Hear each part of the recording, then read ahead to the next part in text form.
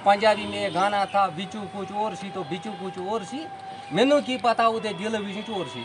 हमने धोखा खाया हमने वोट उसको दे दिया।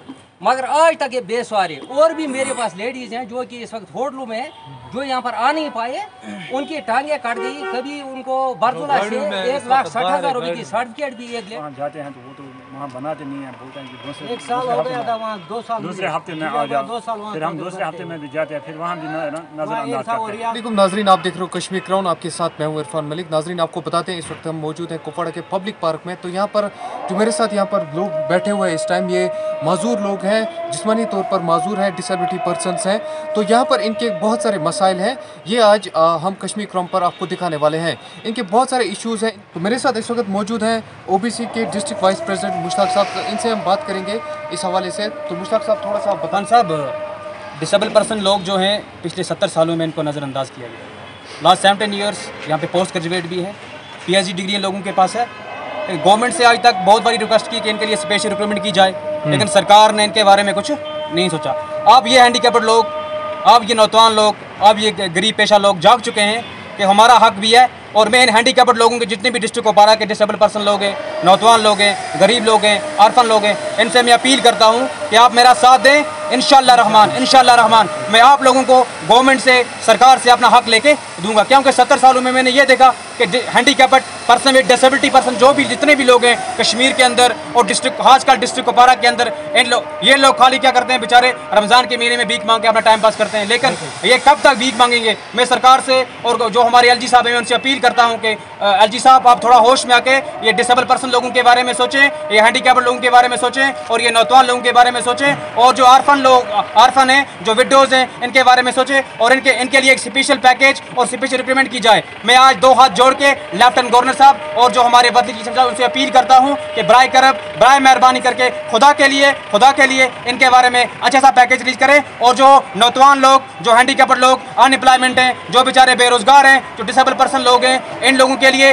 स्पेशल जॉब दी जाए स्पेशल रिक्रूटमेंट की जाए और स्पेशल अच्छे से, अच्छे तरीके से इनको अच्छी पोस्टों में एडजस्ट किया जाए। अगर गवर्नमेंट तीन परसेंट रिजर्वेशन इनको देती है, वो रिजर्वेशन कहाँ पे है? मैं गवर्नमेंट से पूछता हूँ एलजी साहब से पूछता हूँ कि एलजी साहब आप हमें ये बोले जो इनके लिए तीन परसेंट है कहाँ पे है? मैंने भी सत्तर फार्म भरी है, हर एक डिपार्टमेंट में मैं अपनी बात कर रहा हूँ, जो चलने फिरने वाला बंदा है, और वो हैंडीकेप्ड है, जो घर में पड़ा है, जिसको जो एक बोझ बन गया अपने माँ बाप पे, उस उस माँ बाप से पूछो कि उनकी क्या हालत है।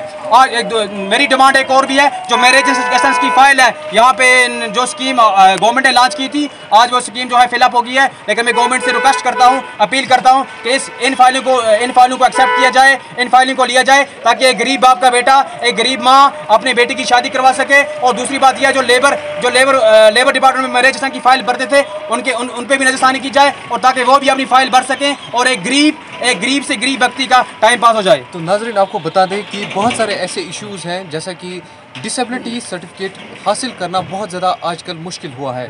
तो कितनी मुश्किल आपको हो रही है? ज़रा इधर आइए आप। कितनी मुश्किल आपको हो रही है? बहुत मुश्किल हमें हो रही है। हम जब जब वहाँ जाते हैं तो वो तो वहाँ बनाते नहीं हैं बोलते हैं कि दूसरे एक साल हो गया था वहाँ दो साल दूसरे हफ़्ते में आ दो जाओ साल फिर हम दूसरे हफ़्ते में भी जाते हैं फिर वहाँ भी न- न- वहाँ एक नजरअंदाज करते हैं। रियाज साहब वो फिर हम घर में ही कल बैठते हैं इसलिए हमें सरकार से गुजारिश है कि हमारी काम जल्द अज जल्द करें तो एक और यहाँ पर मेरे साथ यहाँ पर डिसेबल पर्सन है तो आप बताइए मुझे आपको अभी तक किसी स्कीम का फ़ायदा हुआ? नहीं कुछ नहीं नहीं आए हमारे गवर्नर साहब ने बोला था जो डीसी साहब आए थे हमारे घर वो टीम आए थे, थे उन्होंने बोला था हमने वो किया था फिक्स गवर्नर साहब को फिर कोई नहीं आया।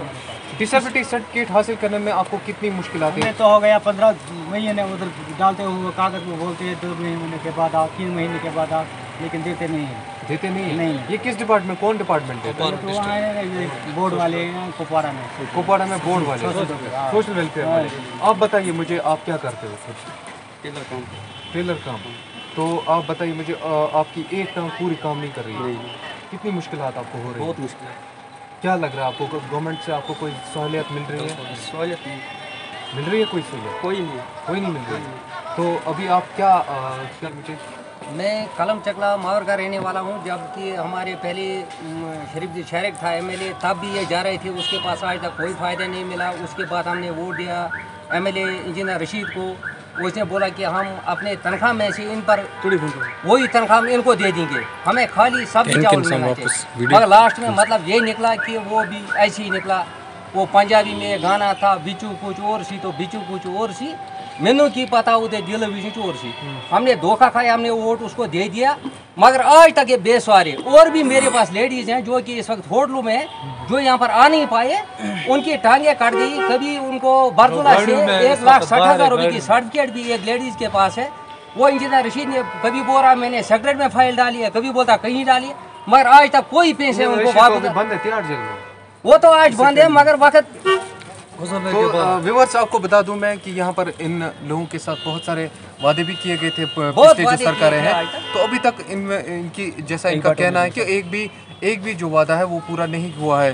तो मैं यहाँ पर जितने भी हमारे नाजरीन हैं उनको कहना चाहूँगा जितने भी यहाँ पर हमारे डिसेबिलिटी पर्सनस हैं ये बहुत सारी मुश्किलों से दो चार है। हालाँकि जैसा कि सुनने में आया डिसेबिलिटी सर्टिफिकेट यहाँ पर हासिल करना बहुत ज़्यादा मुश्किल हो गया है। इनके लिए इनको सबसे ज़्यादा परेशानी डिसेबिलिटी सर्टिफिकेट हासिल करने में लगी रहती है। तो बहुत बहुत शुक्रिया नाजरीन आपका कश्मीर क्राउन पर इतनी देर रहने के लिए।